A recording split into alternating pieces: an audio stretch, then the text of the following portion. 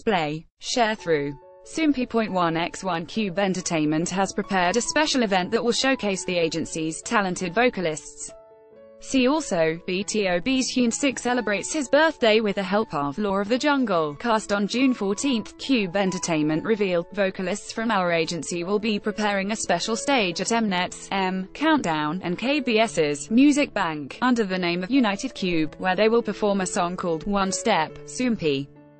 Display, News, English .300x250, BTF Soompi. Mobile.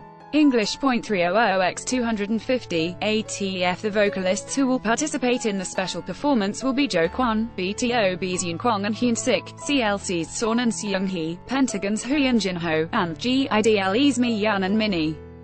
One Step is a song that BTOB's Hyun Sik participated in writing the music and lyrics for, and is a song of hope and comfort with a message that no matter how tired and worn out you are, as long as you keep taking one step forward towards your dream, you will reach it one day.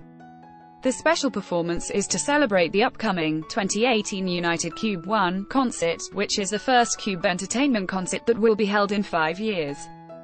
The lineup includes Cube artists from Hyuna to Jo Kwon, BTOB, CLC, Pentagon, Yuseon Ho, and GIDLE, and the Connect will be held on June 16 at the Ilsan KINTEX. Are you excited for the upcoming performances?